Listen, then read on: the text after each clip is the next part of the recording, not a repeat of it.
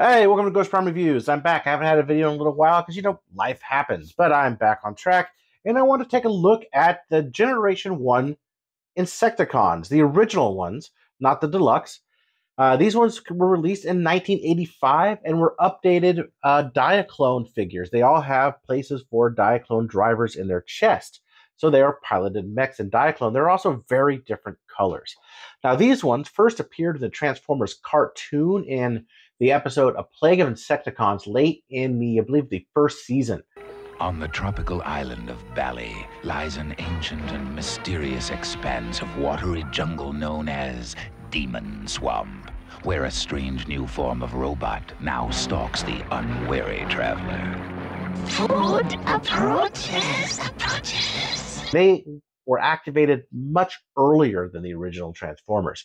So they developed the ability to pretty much eat organic matter, anything, and uh, transfer that to energy. So that actually is very useful to Megatron. It's actually a really cool trait to have. They were a separate group of Decepticons, not technically under Megatron's rule. And there were three of them. And they're all separate. Uh, they all have individual powers, sort of. Uh, this is Shrapnel here. He has a kind of electric power of electricity.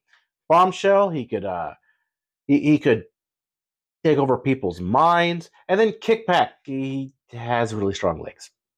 So he kind of gets the shit into the stick. But they're all very cool. I absolutely love the way these guys look in insect mode. They're not super like accurate to insects. They look very robotic, and the chrome on them really, really makes them. These things are an absolute lovely set. Now, one of the things about the Insecticons is they were originally the first troop builder. You could just buy as many of these as you possibly can because in the cartoon, they can make copies of themselves, uh, which is pretty interesting considering Kickback here supposedly perished in the movie, but then after, in the next season, season three, he did show up again. So maybe it was a clone. And as for the boxes, they came in smaller size boxes since they are smaller size figures. And this uh, is the only box I have here is Bombshell. Uh, so this is kind of what it looks like. See uh, artwork here. Love these Generation 1 artwork. On the top, Transformers right there. Then it has this scene on the back since they were later. Uh, they came out in 1985, not 1984, and they have a tech spec inside the box. I don't have the insert for this thing anymore, but you, you come with a mail away catalog.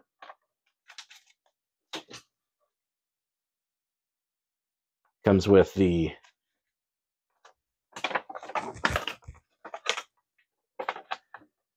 original catalog.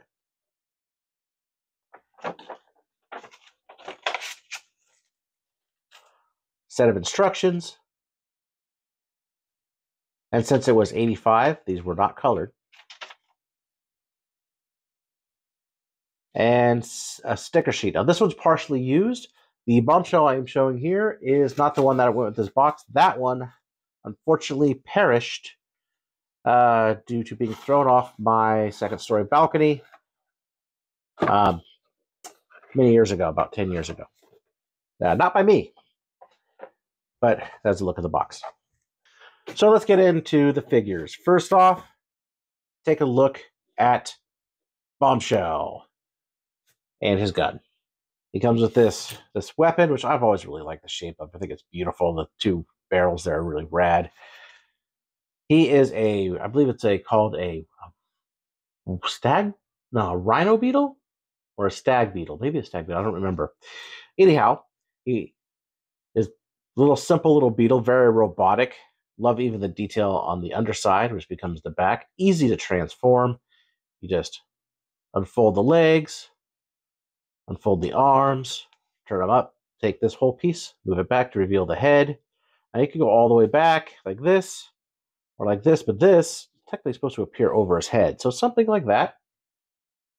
And take his whoop, take his gun and just stick it in his hand like that. And he is ready for battle. Articulation wise, really just the the arms, and then he has some articulation in the legs. That is it. He is a Generation 1 figure, so you get even getting just a little bit. Oh, looks like this fell off the box. Old Target logo, or Target price tag. Six ninety nine or five ninety nine. God, I wish they were still that price. Next, let's take a look at Shrapnel. Now, I just recently looked at Shrapnel when I, with the new Legacy version. So just go ahead, take a look. Here is his his weapon. Unique weapon. Doesn't have a fist. It goes on the outside of his hand, so he doesn't have a hole in his fist. So transforming him is is very easy. Just gotta extend the legs. I don't want to pull too hard because this one's really tight. There we go. And then move the feet up. Waist turns around. Take these feet, move them in, and then reveal the head. Almost looks like he's smiling. Again, the chrome. Chrome is a lost art these days. Amazing. I love these guys. Beautiful detail on them. The dark purple just kicks. It's really great. Then, speaking of kicks, Kickback. Now, Kickback here has the wings. They were dulled on the Diaclone. They are they do come to a point, but these ones were dulled for safety. You know, you'll poke your eye out, and yeah, it's really cool. Love the again, love the detail on these guys. Uh, I love how robotic and shiny they look. So just awesome. Uh, transforming him is really easy.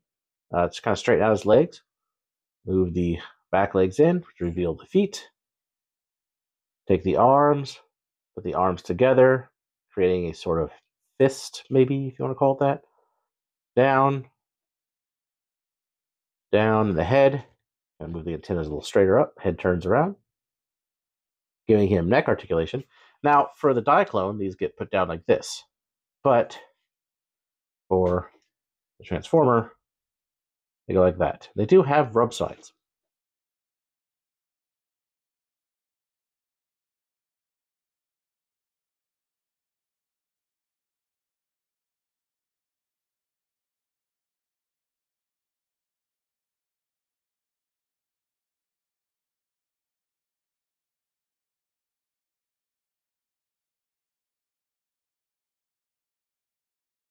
For quick comparison, there they are with Generation 1 Megatron, Generation 1 Optimus Prime, they are with Astrotrain, if I get them to stand up. Generation 1 Astrotrain, another little small bot, G1 Hound, the, the retro one.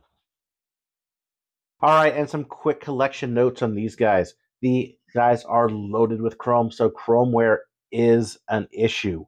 Uh, I was lucky to find these guys with very little chrome wear, but it happens. Even on his gun, there's chrome wear. Yeah, it's very difficult to find them with that are in really super nice condition.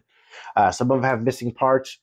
Uh, Shrapnel here tends to be missing these two little feet, which tend to fall off. So be sure that when you find one, you're you're looking for that just to make sure it's there. Also, the guns, um, the you know guns get lost. It's, it's really easy to lose all the weapons. But these are excellent figures for a collection. I highly, highly recommend them. I mean, they're just absolutely gorgeous. They fit together as a team. One of the best Generation 1 groups, in my opinion. Anyway, appreciate you watching, and uh, please like and subscribe, and I'll see you next time.